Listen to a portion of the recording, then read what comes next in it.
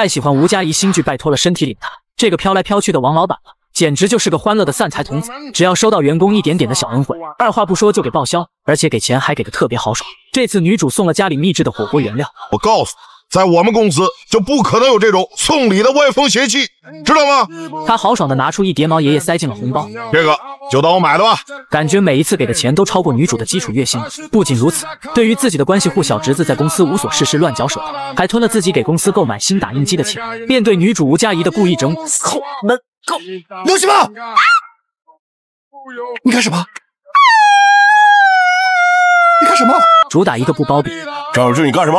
我我我没碰他呀！都说了，你你你你心里的有点那什么数，你不知道吗？验伤报销。这二话不说就给报销的做法太帅了，但这些还不够，因为他还是一个为数不多愿意给考核不合格的员工第二次机会的老板。对于被公司领导以基础知识不合格而开除的女主，没有念到名字的人，明天来公司办理离职手续。他却以业务能力优秀而破格让女主留下，并且顺利转正。有什么实习生你也来。只不过女主和奶奶互换灵魂后变成社交狂魔的性格，让王老板头疼不已。公司是我家，公司发展靠大家。你的意思是你们是一家人喽？没错，我跟王总是家人。男孩绝对没有想到身旁已过六十的奶奶，居然是自己暗恋多年的女孩。只因为女孩和奶奶在一个雷暴雨天气意外互换了灵魂，两人不得不使用对方的身份来继续生活。同时，这也是祖孙俩无法公开的秘密。女孩虽然现在换上了年老的皮囊，但性格没变，依旧腼腆文静，举止文雅羞涩，宛如少女。这也让男孩和面前这位奶奶相处得很愉快。他们今天要找一家能修复老照片的相馆。奶奶，秦梦说您对这边的相馆更熟悉。呃，是是是是是是是。那修复照片的事情就拜托您了。那一边灵魂上了孙女肉身的奶奶也正和一个名叫洋洋的妙龄少年在约会，但奶奶实际目的是为了劝退这个少年放弃追求孙女。奶奶在等少年取自行车时，看到前方一辆私家车里一个男子似乎正在对车里另一个人施暴，爱管闲事的他于是冲上前想制止，没想到车里竟是孙女公司的王总，正被其娇妻在殴打。你要相信我。王总，好巧啊！奶奶的突然出现更加深了王总娇妻对自己的误会。那一边的孙女和男孩在寻找相馆，但碰壁无数后，进入了一家由照相馆改造而成的婚纱店。你再仔细看一下嘛，行不行？这种不纹相片纸，你们得找到电影冲洗液的底片。你们有底片吗？因为男孩没有这张老照片的底片，店家便表示他没有能力修复。而奶奶那边却和少年玩得很开心。少年以为奶奶喜欢和自己在一起，谁想这是因为奶奶返老还童，想感受旋转木马的快乐。之后，少年护送奶奶回家，想和她表白时，刘启梦，啥子？我喜欢。感情的事儿强求不得，你跟梦娃子就只是耍得好的朋友，别的事儿没戏。因为奶奶知道孙女真正喜欢的是她的公司领导，也正是那个一整天都和孙女在一起的男孩。那一边的男孩和孙女虽经过了一日的奔波，未能找到合适的项目，但两人却过得很开心。晚上，少年回到公司，因为求爱被拒，非常失落。正当落泪的时候，他所打工的中医诊所来了个女客人。没错，这个女客人正是女孩公司的领导女魔头，那个每天吃了火药来上班的孙百凤。李锐，你作为项目组组长，你是瞎了还是色盲？这配色图全搞错了。改进一下啊，尤其是你张真芳，就在这里浑水摸鱼。吴佳怡爆笑下饭剧，拜托了身体里的他里。奶奶和孙女呼唤灵魂后，简直倒反天罡。此刻灵魂跑到孙女身体的奶奶，忘记了自己现在的模样，不仅顶着个零零后的小脸训斥着六零后的奶奶，还一个大劈叉，直接把自己撂倒。不能忘记你踢腿。因为他忘记了孙女从小是个宅女，不爱运动。闪了腰的他在家静养时，又发现孙女的情敌要来公司了。于是第二天立马精神抖擞的去上班，但说是上班，实则是为孙女扫除爱情路上的障碍。你懂什么？工作是暂时的，爱情才是永恒的。奶奶主打一个看不惯就直接上嘴，要腻歪就躲到没人的地方去，别站在大众眼下辣人眼睛。意思让一下，想要聊天靠边聊，别站马路中间。其实男主的爷爷和奶奶年轻时是一对恩爱的情侣，奶奶会经常做红烧肉给爷爷吃，但两人最后阴差阳错没有走到一起。此时男主的爷爷身患重疾，希望走之前吃到心心念念的红烧肉，而奶奶去医院整蛊爱作妖的老总娇妻时，意外撞上了男主。我来探望一个病得不轻的朋友，你呢？你生病了？没有，就是我爷爷想吃红烧肉了。想吃红烧肉找我啊，我红烧肉做得好嘞。于是奶奶邀请男主回家吃红烧肉，这个邀请差点让男主三魂丢了七魄。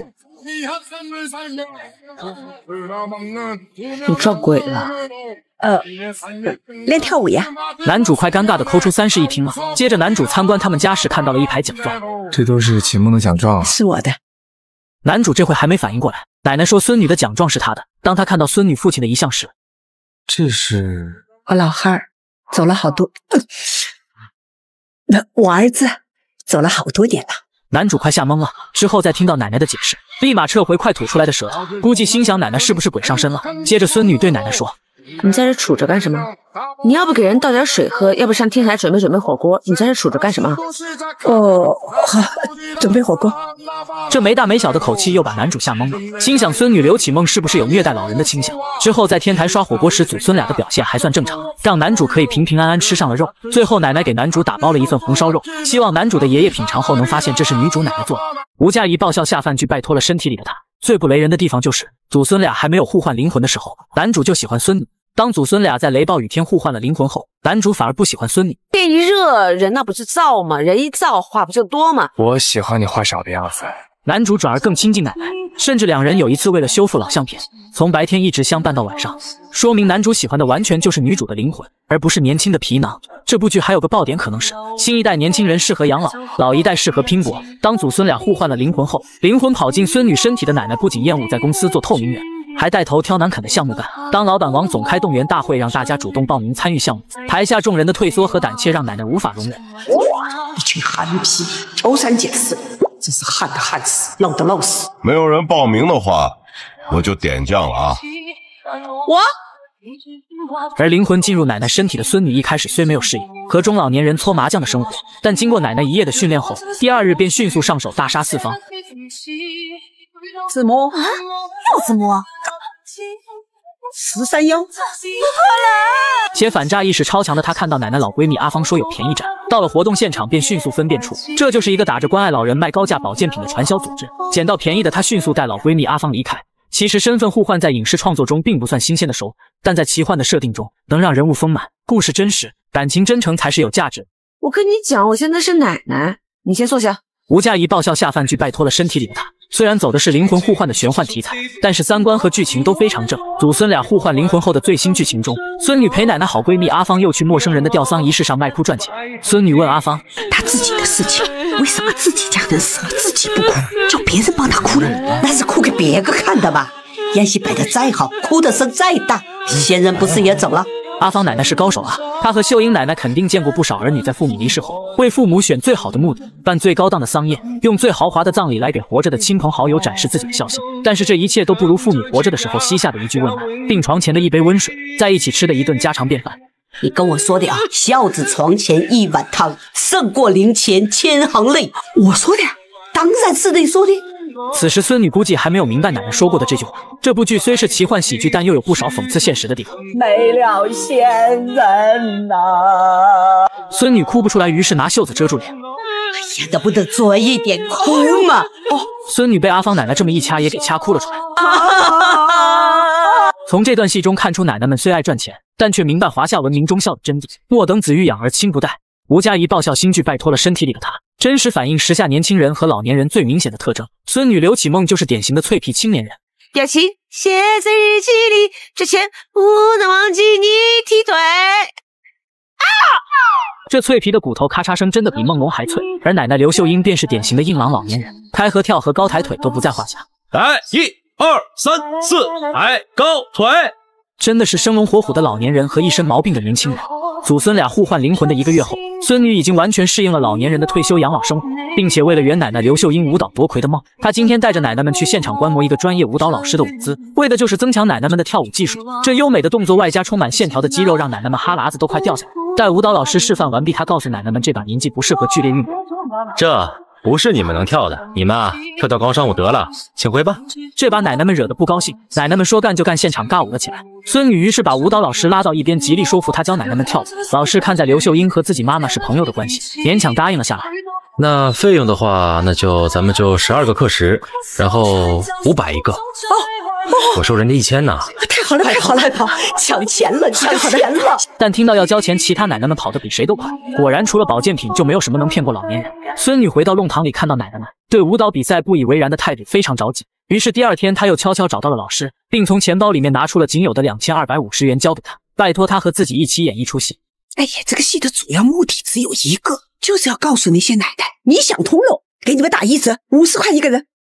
原本五百元一人十二节课，现在砍到五十元一人，也就是每节课一个小时，老师每人收费不到五块钱。这砍价的程度真和索马里海盗差不多了。而孙女刚刚拿出的两千二百五十元是补差价，她希望袁奶奶舞台表演和夺冠的梦想。老师念在奶奶们对舞蹈比赛如此的重视，于是便答应了。果然，第二天阿芳奶奶带着众奶奶们去找老师杀价，老师自然很配合，假装与来砍价的阿芳奶奶争辩了几个轮回，最后答应阿芳的价格。谈妥了，一折每个人五十块。众奶奶们回到弄堂小院后，便纷纷拿出了五十元交给孙女。同时，在长江爷爷的启发下，孙女给舞蹈团起了个响亮的名字。晚上，她便将这个好消息告诉了刚刚下班回家的奶奶。现在我宣布，五万人舞蹈团正式成立，掌声！哎，不愧是我刘秀英带出来的娃娃，出息了哈！看来孙女已经完全适应了老年人的退休生活，而奶奶这边也在努力准备着孙女单位来自上海总部高管的工作巡查。而此次的巡查对雪藏的项目雾都诗语是否能顺利重启起着至关重要的作用。第二天，上海高管们便来到了公司，小程领导先对雾都诗语的玩法设计和人物介绍做了大概的汇报，但上海高管们听了后却露出了不感兴趣的表情。突然，他打断了小程领导：“Stop！我要的是威神，强有力的冲击力。”奶奶于是自告奋勇举起了手：“我。”我是这个项目的中美设计。什么时候成中美设计的？刚刚。奶奶在孙女远程语音的指导下，即将开启她职业的高光时刻。太北义忘恩，天人共路。哥。那边灵魂上了奶奶身体的孙女也忙得不停，因为舞蹈老师要对这些老 baby 们进行魔鬼训练，耳朵就要废掉。捂起身体的孙女后，还要权限打开二舅的电脑，进入公司的内网来窃取公司资料。后门狗见事情败露，便这样就不会让邻居看到。却晚上，孙女翻看奶奶的老古董饼干铁盒，看到了和小程领导相似的老照片，正准备微信和他确认。下午，孙女就将摩托车带回了弄堂，圆了奶奶阔别已久的机车梦。吴佳怡爆笑喜剧拜托了身体里的他，祖孙俩终于遇上了一场电闪雷鸣的暴雨，将各自的灵魂换了回来。你好，小蜈蚣，我是小佳。你好，我是小五。小城领导和刘启梦不仅拿着初中时的信物勇敢相认，也在之前的婚纱摄影馆修复了爷爷的相片，还拍了和爷爷奶奶一样的复古军装照。好，两位再近一点。来，我们准备了。小城领导紧紧抓牢刘启梦的手，生怕他灵魂又跑。三二一，茄子。就在几个小时前，老 baby 们的五万人舞团在舞蹈比赛的初期状态可谓是一马当先。可因为舞蹈动作幅度较大，阿芳和孙女连番把假发套甩走了，瞬间让他们俩变成了两个刺眼的蓝精灵，惹得台下一阵骚动。比赛直播的弹幕也在抨击他们，但奶奶们顶着压力和尴尬，坚持比赛，将弹幕的风向瞬间拉了回来，最终卖力的完成了舞蹈。虽然台下的观众们激动的都站了起来，不断的鼓掌表示尊敬，但裁判团还是给了五分，导致初赛现场评分倒数第二。尽管初赛的最终名次需要结合三天后的网络评分才能决定进入决赛的五支队伍，但奶奶们在后台化妆室已经垂头丧气，互相埋怨。众人走后，阿芳和孙女说：“秀英，我们不跳了。”之后，小程领导主动提出吃辣火锅来缓解孙女失落自责的心情。三人吃火锅之时，突然天空骤变，电闪雷鸣。此时，小程收到了医院的电话，原来他爷爷独自离开了医院。三人立即赶去医院附近寻找，而小程爷爷此时正身着军装，口中不断喊着奶奶刘秀英未成家时的姓名秀气，这也正是他和自己当年宣誓要在一起时穿的衣服。程华军，李秀琴，这辈子都会在一起，永永远远在一起，永远在一起。嗯。这是他们俩最美好的时光，但爷爷最后因为不得已的苦衷离开了奶奶，去了外地。现在回到故地，又年事已高，找到刘秀英，并和她说一句对不起，已是现在最重要的事情。此时奶奶看见了爷爷，三人立马急速冲过去。孙女着急跑时，因为用的是奶奶的身体，不幸滑倒，奶奶急忙过去扶住，意外一起遭到雷劈。孙女醒来后，发现自己灵魂已归位，惊喜万分，立即高兴的跑出房间去护士台问询奶奶的病床。她着急的想确认奶奶是否也灵魂归位成功，找到了，在重症监护病房。奶奶因为年纪大，没有挨得住这个雷劈，而住进了 ICU 治疗。当孙女跑到 ICU 门口时，看到小城领导也在。让她意外的是，小城领导居然喊她奶奶。奶奶，对不起，是我没有保护好启梦。他怎么知道我跟奶奶互换的事？奶奶，你没事吧？更吃惊的是，小城领导已经知道自己是小悟空，还迫不及待的要等奶奶醒来后和他相认。吴佳怡拜托了身体里的他抄点大结局。原来刘启梦并不是奶奶刘秀英的亲孙女。我刘秀英，我天不怕地不怕，我就是怕。我们两个人没有血缘关系这件事情，你知道。四十八年前，刘秀英和好闺蜜张德芳还有马小慧在四川下乡时都是当地文艺团的舞蹈者。一天回家路上，三人被当地流氓骚扰打劫。此时刚刚来四川插队的男主爷爷程华军还是个小邮递员，他赶着驴路过，正好看到这一幕，于是立马大吼想制止流氓的为非作歹。没想到居然弱不禁风，反被两个流氓殴打。奶奶便让马小慧和张德芳先离开，她从地上捡了一个结实的树杈，狠狠地先给了其中一个恶徒一个大逼斗，接着再上拳脚两三下，便把另一个恶徒打趴下，两人仓皇而逃。奶奶便急忙扶起了蜷缩在地上的爷爷，两人相互自我介绍了后，变成了好友。先去医院吧，啊不，去完医院咱们再去村里面转一圈喽。行啊，没问题。爷爷领略过奶奶的英勇战斗后，便对她着了迷，会在奶奶舞蹈训练结束时给她送大猪蹄子。遭到奶奶的嫌弃后，第二次见面便把大猪蹄子做成自己特制的桂花红烧肉给奶奶吃。奶奶边吃边和爷爷谈起自己的梦想。巴适，能跳舞有肉吃，神仙日子。你这么喜欢跳舞啊？如果能在舞台上跳一下，这辈子都值了。奶奶说着就放下了筷子，说要现场给爷爷来一段舞蹈。但他刚刚舒展四肢准备跳时，张德芳边跑来说文艺团的团长叫大家去开会。原来开会是告诉他，团长决定让自己亲戚代替他上舞台表演。开完会，奶奶生气的跑到外面，恰巧遇到肚子已隆起的马小慧。嗯，小慧，嗯，你两个不去排练了？我有点不舒服。你没事儿，放心吧。奶奶听马小慧说没事，就回文艺团拖地了。之后的几天，奶奶和爷爷都会去他们初次见面的地方谈心。奶奶因为失去了上台跳舞的机会，非常伤心。爷爷就给奶奶糖吃，并在山头向毛爷爷发誓，会和奶奶在一起一辈子。可谁也没有预料到接下来会发生的事情。文艺团好姐妹马小慧意外怀孕又难产而死，临终前将襁褓中的儿子托付给她。直到好姐妹马小慧隐瞒怀孕难产而死，我考虑过从警，一个人拦下了这一摊。于是奶奶便主动抚养她的孩子。文艺团本来对奶奶这个刺头意见就大，于是就以未婚生育是道德败坏这个借口开除了奶奶。奶奶便决定和张德芳一起回老家。临走前向和爷爷告别，爷爷却对奶奶不离不弃，是个痴情的男儿。不管你去哪儿，我都跟你一起走。华君，我现在是有孩子的刘秀琴，再带走个娃，你真的想清楚了吗？我陈华君非你不娶。奶奶于是和爷爷约好离开的日子，但那天突然下起了大雨。且奶奶在约定的地方，从傍晚等到深夜都未见到到爷爷的身影。五点早就过了，雨这么大，邮递员怎么还不来啊？一个多钟头了，该来的总会来，他就是反悔了。于是奶奶生气的把饼干铁盒扔到了地上，便上了车。阿芳赶紧把襁褓中的孩子给奶奶，然后跳下车捡起了盒子，随后小卡车便启动开走了。车上的奶奶对着婴儿嚎啕大哭，没想到爷爷会食言抛下自己。吴佳怡拜托了身体里的他抄点大结局。原来男主程凯也不是爷爷的亲孙子，是爷爷的大哥过继给他的。小姐，我本打算一个人过一辈子，大哥看我可怜，给我过继了一个孩子。带着孩子，果然没人再跟我提结婚了。爷爷因为女主的奶奶而一生不娶，奶奶因为男主的爷爷而终生不嫁。老一辈的感情好简单，简单到只能装下一个人。也明白了为啥奶奶一直不愿意接受长江爷爷，不只是因为孙女刘启梦，而是她心里只能住一个人，就是男主的爷爷。当奶奶和爷爷再次重逢时，爷爷因为得了阿尔茨海默病，已经记不起奶奶。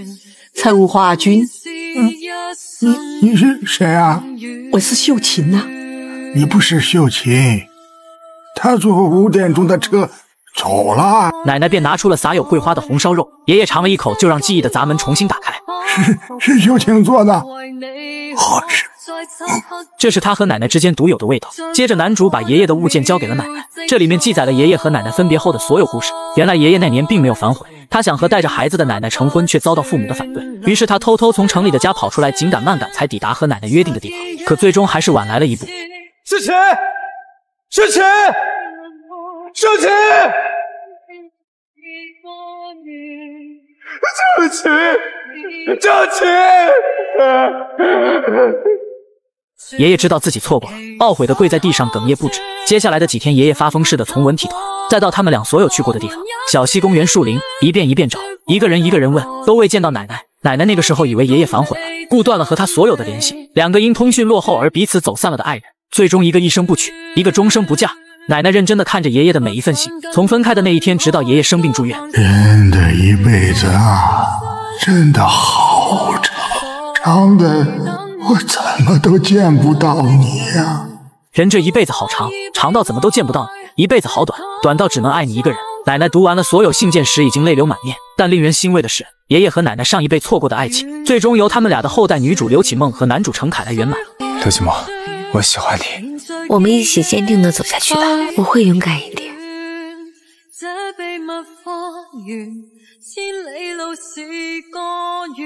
刘启茂，你干嘛呢？你这是要炸公司啊？你拿着没去啊？吴佳怡电视剧拜托了身体里的她，超点大结局。无论是在多金的老板王一鸣，还是傲娇小作精严菲菲，这世上就没有奶奶刘秀英搞不定的人。我跟你说，我们可是结拜过，是不是？是不是？嗯，不，那个作为菲菲的大哥。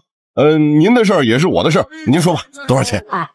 同时，张博宇饰演的多金老男人王一鸣王总，应该是他所扮演的角色中最惨兮兮但又招人喜欢的角色。为了挽回和自己相差十多岁娇妻的婚姻，他在烈日下穿着厚重的道具服来求婚。你这样，你等着，我给你变个戏法。嘿，嘿，嘿，嘿，嘿。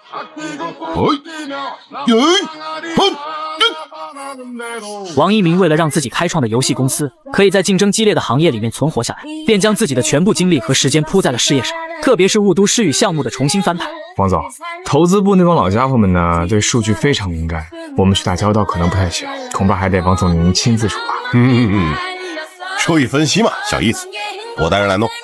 而人的精力总归是有限的，不可能事业家庭两头顾，于是便冷落自己的小作精老婆好几年。终于在雾都诗雨项目成功启动后，他发现小作精对自己开始冷漠，便不好意思向男主讨教经验。哎，你说这女人心怎么比钱还难挣啊？以前吵架还给我发个小作文，你看，现在你这这什么都没有啊？男主便让王总自己主动点。给老婆发点表情包或者小作文，打响王总真的是个老直男，除了埋怨，其他啥也不做。那一边灵魂归位后的奶奶在舞蹈训练结束时，收到了小作精的电话。大哥，我一鸣他不要我了。他他他他怎么敢不要你？你是谁啊？我大哥呢？小作精约奶奶今天傍晚在当初结拜的地方见面。奶奶心想，现在顶着老皮囊去见小作精，肯定穿帮。孙女现在又和男主在约会，就推脱。没想到小作精说看不到奶奶就不活了，还说奶奶结拜了却不讲义气。这评论奶奶怎么能忍受？于是她穿上之前的复古衬衫和红色短裤，脸戴墨镜去赴约。本以为这身全副武装的打扮可以蒙混过去，没想到小作精哭诉的时候握起了奶奶的手。全是褶子的手让小作精吓得跳了起来，再加上奶奶沙哑上了年纪的声音，让即使喝了酒的他也很快分辨出这不是以前和他结拜的大哥。他想摘掉奶奶墨镜辨认一下，奶奶见这形势瞒不下去，便也不装了，脱下墨镜后就把小作精拉着坐下，向他讲述和孙女互换灵魂的奇幻故事。但任凭奶奶如何描述，小作精都不信这离奇的事情。于是两人就对那天结拜的暗号对暗号啊，对暗号哦，开那个灯，那天你喝多了，把那个灯当成了太阳。我跟你两个站在那里对着太阳结拜。奶奶说着，带着小作精来到灯下，两人双手握拳，开始你一句我一句，重复当日结拜所说的话。结束后，奶奶还指着菜刀说起那天小作精要拿刀割破手指歃血为盟。这下小作精彻底相信了，和奶奶拥抱相认。我居然跟一个老 baby 结成姐妹了。接着，小作精为奶奶替孙女上班感到委屈，这把奶奶真的感动到了。这个才是真的姐妹，别人考虑我都是飞得高不高，只有你关心我过得苦不苦。对于小作精和老男人王总的感情问题，奶奶义不容辞揽下了。第二天，奶奶就让孙女带上煤气罐，在王总公司楼下。刘启旺，你干嘛呢？你这是要炸公司？你拿着煤气罐啊？你表现的太……你谁呀？我是菲菲的大哥。王总以为奶奶依仗年纪大要向他讹钱，奶奶直接进入主题，说要帮他化解和小作精的婚姻危机，需要王总配合他一起给小作精一个惊喜。王总这才低头哈腰对奶奶表示感谢。第二天，王总便在烈日下穿着厚重的小熊道具服，先向小作精忏悔，再挥动厚重的两只变起了魔术，最后拿出了戒指来弥补结婚这几年缺失的浪漫求婚告白。菲菲，当时太仓促了，没有婚戒，没有婚礼，我真的很愧疚，真的对不起。但是我现在愿意弥补。小作精终于感受到了老直男的浪漫，答应原谅他，并取走了戒指。其实老少恋矛盾再大，只要两人还是相爱，没有浪漫和钱解决不了的。